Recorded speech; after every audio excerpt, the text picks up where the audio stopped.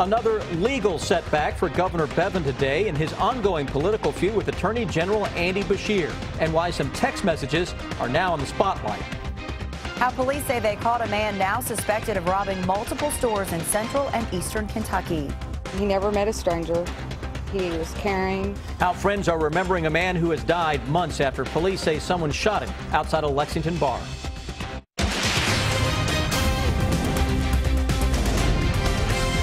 This is WKYT News at 6. Good evening. More twists today in the ongoing political feud between Republican Governor Matt Bevin and Democratic Attorney General Andy Beshear. It started with a judge blocking the governor's efforts to replace the entire University of Louisville Board of Trustees. And during a news conference later, Beshear claimed the governor sent him a text message claiming the attorney general's office had become an embarrassment. WKYT's Sabir Rayford has the latest from Frankfort in our top story at 6. Disagreements between Governor Matt Bevin and Attorney General Andy Beshear continue today after a judge ruled that Governor Bevin overstepped when he abolished the Board of Trustees at the University of Louisville. This was never about Beshear versus Bevin. It was always about students, faculty, and the rule of law. In today's news conference, Beshear said multiple times that his disputes with Governor Bevin were more about the law and less about politics. I don't know the governor's motives, and I don't suggest that he had uh, uh, negative uh, or, or bad motives behind it. What I know is that his actions did not comply with the rule of law. And like I said, this isn't personal, but upholding the rule of law is my job. Governor Bevin had a different reaction to the ruling. A statement his office released said, quote, our general counsel is taking the time to properly review the ruling that just so happens to come out the day before the one-year anniversary of the Attorney General's opinion that A.G. Beshear and now the Circuit Court ignored. This is the second time in a week a court has sided with Beshear in a lawsuit against the governor. When asked if he had spoken to Bevin, Beshear said he received an unsolicited text message. The only uh, uh, communication that I've received was a nasty text message from the governor last night. Beshear later released the message. He said it reads, I would strongly suggest that you get your house in order. Your office is becoming an increasing embarrassment to the Commonwealth. Governor Bevin has 30 days to appeal the ruling. At the Capitol, Sabir Rayford, WKYT. Also today, House Democrats called on Governor Bevin to release more than $4.5 million in funding for Kentucky school districts. The money is called Support Education Excellence in Kentucky, or SEEK funding. At a news conference at the state capitol this afternoon, House Democratic leaders said the governor needs to pay that money in accordance to the budget bill that the General Assembly passed. But before the news conference, Governor Bevin posted a video on social media. There has never been an administration in this state that has ever contributed more money to education. Because I know for a fact if we're ever to be the best version of ourselves that we can possibly be, we have got to pour into education. The Constitution of Kentucky, when it says that we shall create a system of public schools, guarantees every child the right to a public education and equal opportunities. And that's really what this is about. House Democrats claim Fayette County schools would lose out on nearly $170,000 in state money if the shortfall is not covered. Tonight, a man who police say is behind a string of robberies in Madison County is in custody. But they say arresting William Hacker wasn't easy. As WKYT's Sean Moody shows us, police say he led them on a chase in Laurel County after another robbery. The investigation has spread now from Madison County down into two southern Kentucky counties. Detectives from several agencies have been here at the London Police Department asking William Hacker about these robberies. This morning, we met with officers from Berea Police, Richmond Police, and the Madison County Sheriff's Office to talk about the string of Dollar General robberies. They had just identified William Hacker as their suspect. In the middle of that interview, right around noon, Berea Police Lieutenant Jake Reed got a text. Oh, hang on, guys. They just caught him. Did it? Uh, Chief said they have caught the guy in London pursuit. Confirmed by a quick phone call. Okay, awesome. So uh, he's, he's in custody in Laurel County, I'm guessing? A Family Dollar in Manchester had just been robbed. A Clay County dispatcher called Laurel County Dispatch with the description of the getaway vehicle. A Laurel County dispatcher recognized it could be the truck from the stories that have been running on WKYT. As far as finding more. Yeah, look on WKYT, they got pictures of it. They said the pictures on WKYT's website actually helped them get a better idea of what they might be looking for. London police officers said they saw the truck on the Hal Rogers Parkway and tried to stop it. They said it initially stopped but took off again. Police said the truck nearly hit a construction worker along the road. Uh, and according to the construction worker, he had to jump out of the way. After a short chase, they said the truck crashed and they arrested William Hacker. London police have charged Hacker with fleeing and evading, resisting arrest, wanton endangerment, assault of a police officer, and criminal mischief. Detectives from those other agencies have been here at London Police headquarters interviewing Hacker. No word yet on charges filed in those counties. In Laurel County, Sean Moody, WKYT. Police said there was a woman in the truck with Hacker. They're question questioning her about the Manchester robbery as well. Friends and family had been hoping he would pull through, but today a man died nearly four months after investigators say someone shot him outside a Lexington bar. Skylar Ray had been receiving treatment at a respiratory care center in recent weeks. WKYT's Victor Puente talked to one of Ray's friends. Before his death, Skylar Ray spent the past four months adjusting to life with a disability. Despite that, his friends say he never stopped having a positive attitude. The 21 year old was outside of Saddle Ridge on May 29th when he was shot in the head. Since the shooting, Ray had been on a ventilator and confined to a wheelchair. Friends say he was trying to break up a fight.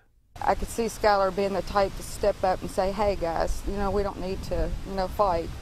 Michelle Sharon's son has been a friend of Ray's since the two were in middle school in Bourbon County. Skylar stayed positive, and I think his positive and being strong kept him going as long as he did go. So when she got the news this morning that he had died at a respiratory care center in Rockcastle County, her heart broke. She had already planned a charity horse ride at Carter Cave State Park on October 15th to help his family with medical expenses. Today she said that ride would go on in his honor. As a parent, it's devastating. I couldn't imagine his parents, what they've go through, uh, the siblings.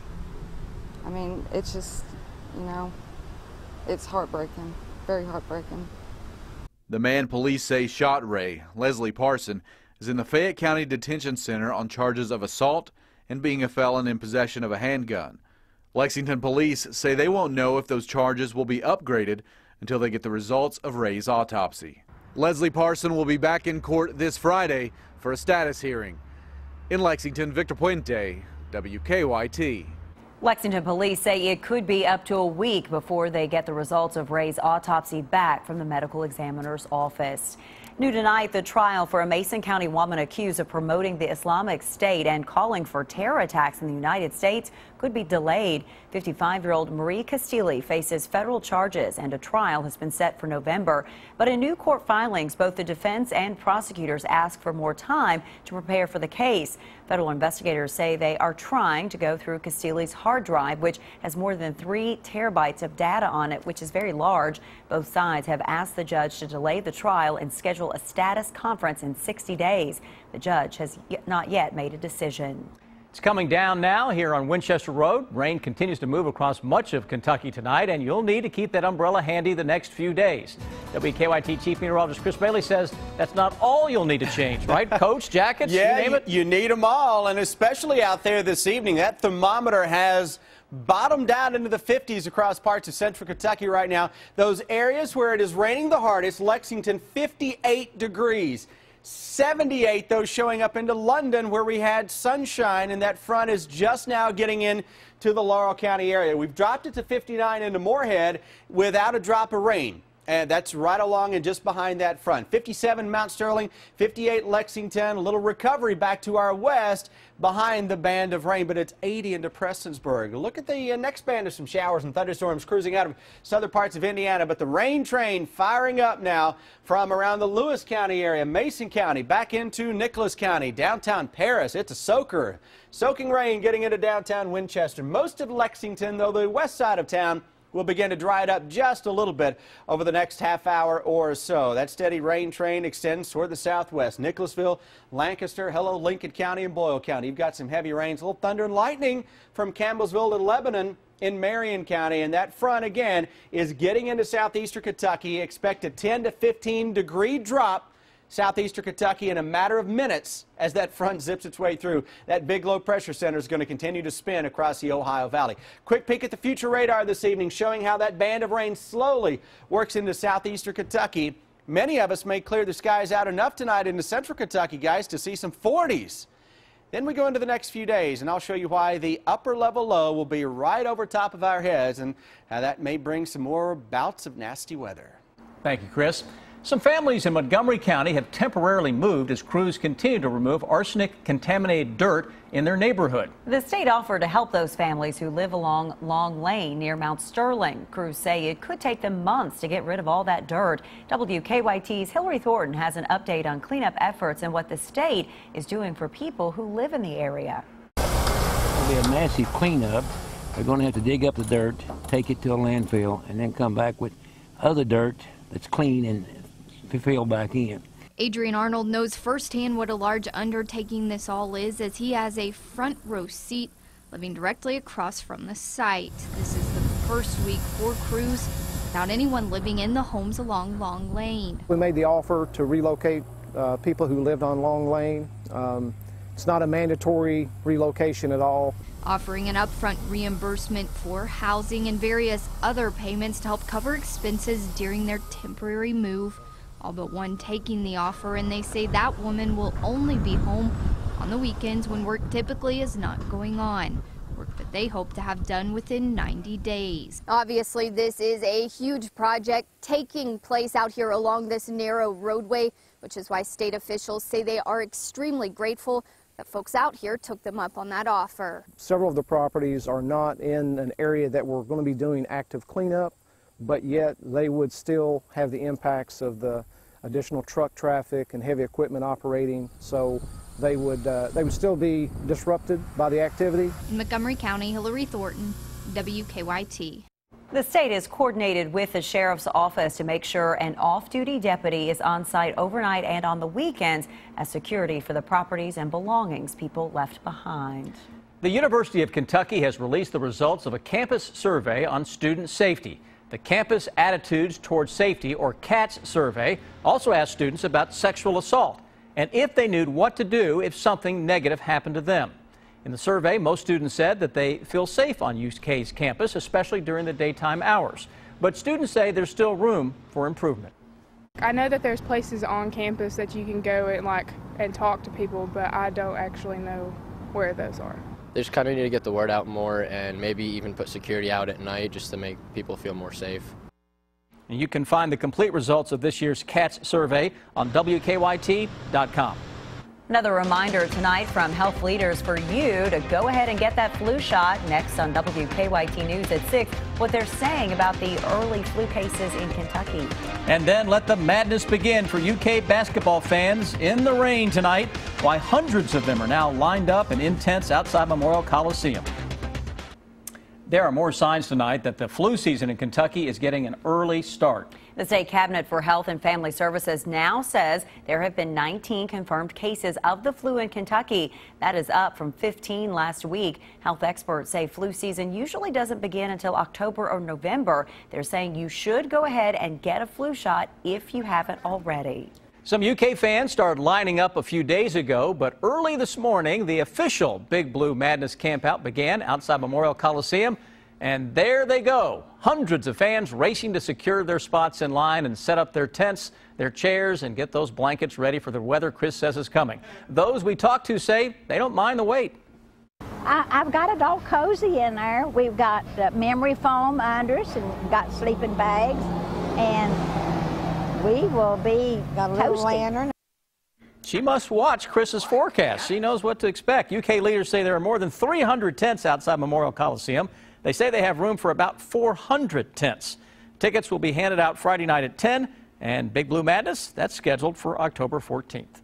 Now, your hour by hour forecast with Chief Meteorologist Chris Bailey. And that memory foam is going to come in handy along with the jackets, the waterproof tents, because it is chilly and it is rainy into downtown Lexington right now. Cold front, let's find it. How about southeastern Kentucky, upper 70s to around 80? Yet we get into central Kentucky where it is raining and we are behind the front, mid to upper 50s showing up. And what's happening with this front as it slides through, you're going to see a 15 degree drop in a matter, in some cases, in a matter of minutes. Quite the cold front that is on the move out there.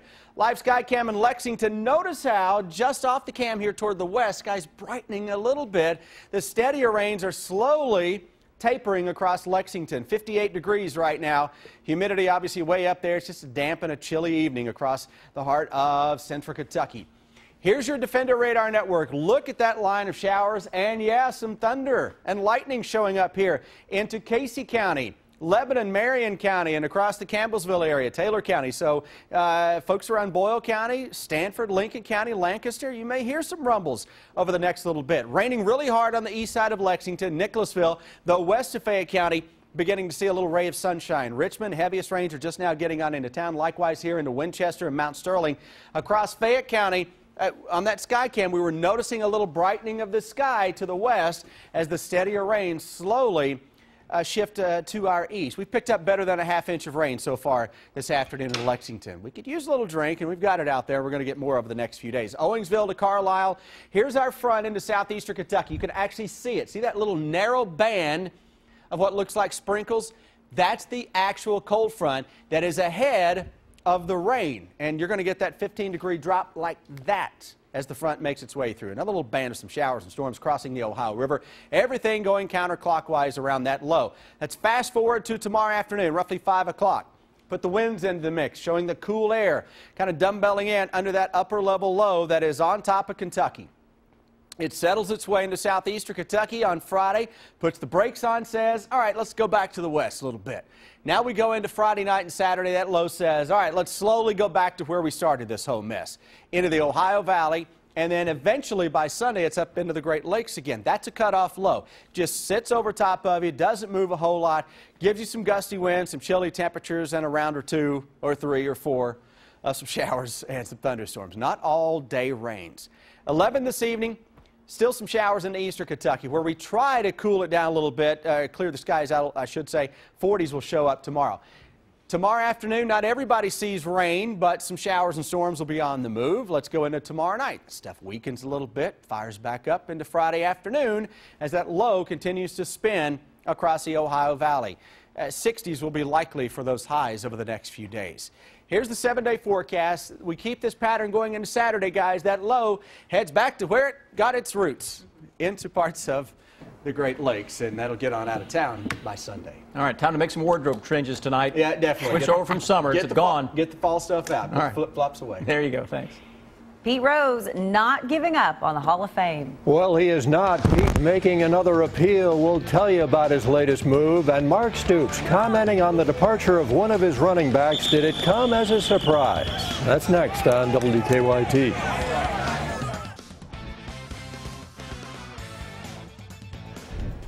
Mark Stoops going on the SEC teleconference earlier today and commenting on the departure of running back Michael Horton. Horton left the team yesterday after seeing hardly any playing time this season. Boom Williams, Benny Snell, and JoJo Kemp all ahead of him. Today on the SEC teleconference, Stoops said the loss is not an issue with so much depth at running back, and Horton's departure didn't come as a surprise. Yeah, we did see it coming. Um, it's just one of those situations where for whatever reason, he gets behind on the depth chart and um, has to, to earn the trust of, of the coaches and, and the players as he moves forward. Um, and, you know, he was starting to do that and doing a better job and being more accountable. And, uh, and then some other guys emerged. So uh, there's only one football. It'll be homecoming for Alabama down at Bryant Denny Stadium this weekend, a place where Kentucky has never won in seven tries. Nick Saban said he's impressed with UK's offensive big play capability. Mark Stoops has done a really good job of sort of finding out who they are and how they want to play, and uh, they played really well in the last two games. Uh, really good skilled players on offense, really good running backs, wide receivers. Um, you know the stats, they're explosive guys. Uh, they have pretty impressive performances to this point.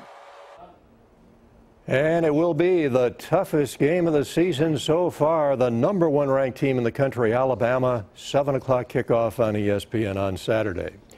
Pete Rose has appealed directly to the Baseball Hall of Fame to restore his eligibility to be elected. The Hit King wrote a seven page letter to the Hall of Fame's president arguing that it wasn't then Commissioner Bart Giamatti's intention to keep him out of the Hall when Rose accepted his ban from baseball. Rose's attorney said new Commissioner Rob Manfred denying Rose's reinstatement last December opens the door for the new argument.